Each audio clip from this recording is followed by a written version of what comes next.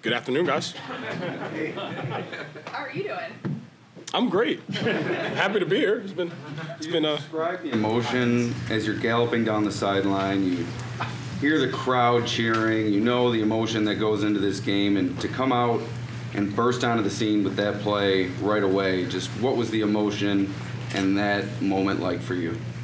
it was electric, and uh, you know we we've had so many prayers and so much support, and uh, be able to start the game off like that, it's it's amazing. I even talked to family and friends, and I just said, look, we're gonna be ready today. Our boys are gonna play spirited, and uh, just being around all those guys, even though I have not been here so a long time, it even motivated me. And uh, you you've seen like we have threes on. I had three on my thigh pads today. It's it's been amazing, but all that was for him, and I'm.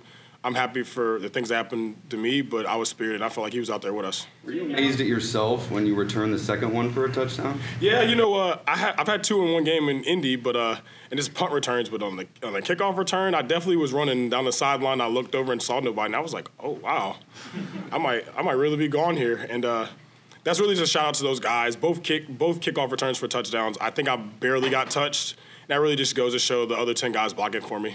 You, you made the play. Josh called it spiritual for the first touchdown. At what moment, I mean, you're focused on your job. At what moment did you sense it wasn't just a big return and a big play? Or did you at any point, you know, once you got in the end zone, or what was that like?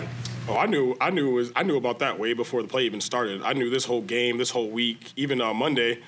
I'm on CNN, I'm on local news, ESPN. Everybody's talking about Damar, and I just, you know, I just felt all the love and support. And you know, everybody talks about family and football, but ever since I've been here, it's been about family. And the Bills Mafia is the best fan base in this NFL. So in the NFL, so I mean, I've it's been it was very very spiritual, and it was way before I ever touched the field today. But as you're running, are you thinking about what the impact this had on your teammates? I mean, they all talked about it, like what it did for them. Oh, I was running? Yeah. Oh, I was running, I was just trying to get there. and then when I was getting there, I was thinking about celebrating with my teammates. And, uh, you know, as soon as I crossed the goal line, I, I thought in my head, like, wow, like, this is our first time since Cincinnati. Like, there's no, there's, like, it's, I'm speechless. And I can't believe, you know, I'm so thankful it was me to, you know, bring that juice, but it, it's, it's way bigger than me. And that's what I always thought about, and that's what I felt all day. It was just bigger than me and bigger than those 10 guys that, who did a great job of blocking for me. Deion Sanders strut at the end of the second one. Uh, have you ever done that before? Or Yes. That's the, point? I did that on my second punt return against Carolina in 2019. I guess it's just, I used to wear 21. Uh, you know, I used primetime Shawty. I used to call myself that sometimes. So I mean, I just was very, very spiritual with that one.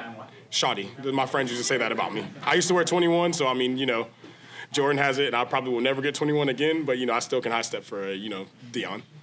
play, on that first play, without what happened to Damar, without thinking about Damar, does that first play happen? Uh, I think so.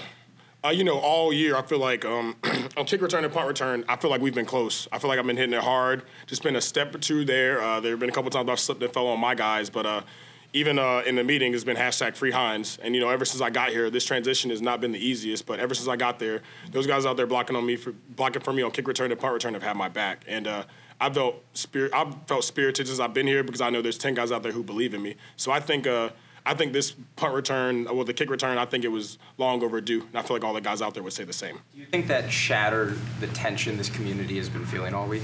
I hope so. Um, you know, I, you know, in Cincinnati, you know, we learned that you know football. You know, a lot of us, you know, we say football is life, but there's so many things that are bigger than that, and you know, it's just a game. So I'm hoping that you know, just within this game, it brought life to a lot more than just myself in this community, but just everybody else in this world. Nyheim, were you surprised that they kicked it to you after the first one? they continued to? I was surprised. I was surprised uh, after the first one when they kicked it to me, but the second one I knew they were going to kick it to me. So I mean, it's just uh, it happened. I mean, I, I returned two for a touchdown in in Indy, and they kicked it to me again. So I was hoping I got another chance. I was hoping I was going to get another opportunity after that. Did you kind of get a chuckle though when they kicked one out of bounds and gave you the ball at the 40 yard line? Uh, you know, it was great. You know, my job is, you know, I feel I take a lot of pride as a punt returner, kick returning, and flipping field position or giving the team great field position. So uh, that was for me. I, I chuckled a little bit, but I think it, I just did my job and you know, secure great field position. Did you Everyone was already going. Tell you that Damar was tweeting about your place. No, I didn't know till after, but uh, I actually just saw them, and uh, you know, big shout out to Damar. Uh, you know, it's and even him. He's been one of the guys who've been most vocal about you know telling me free Hines. He told me that every game. So uh, the fact that we could do that while he, you know, in his in his absence, it's honestly, you can't really make this up. This is is wow. That was one of his tweets, free See, See, we don't say it every day. Look, we don't say it every day in meetings for no reason. I'm glad it came true.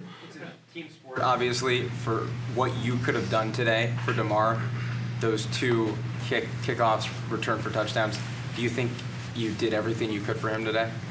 I hope so. And uh, if I did not, I'll keep going until I, I've done it. But I hope I have done that. And we got to win. So I think we, as a community, I feel like we needed this win. I feel like my brothers in that locker room, we needed just you know some great energy and some great vibes, and like we had to win this. And even his dad said that. He said like.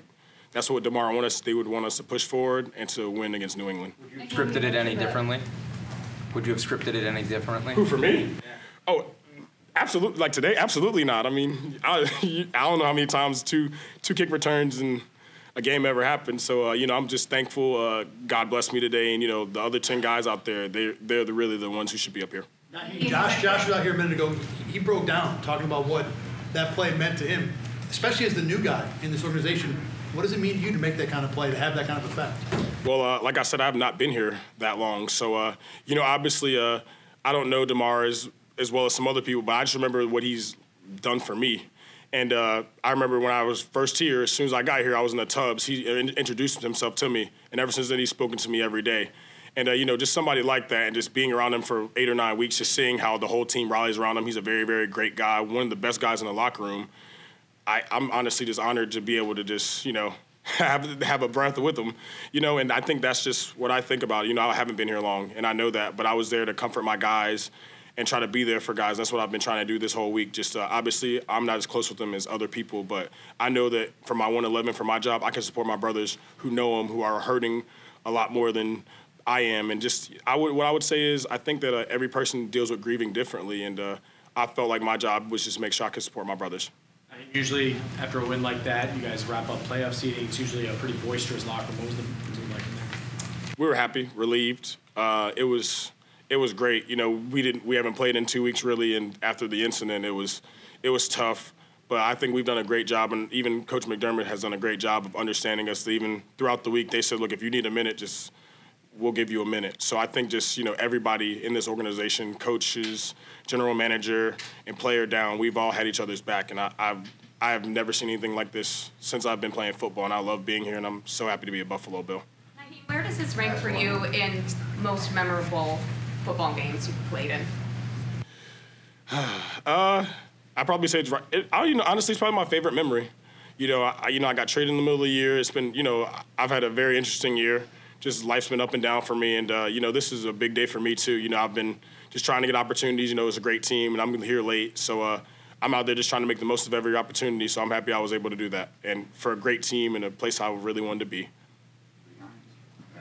Hashtag free Hines.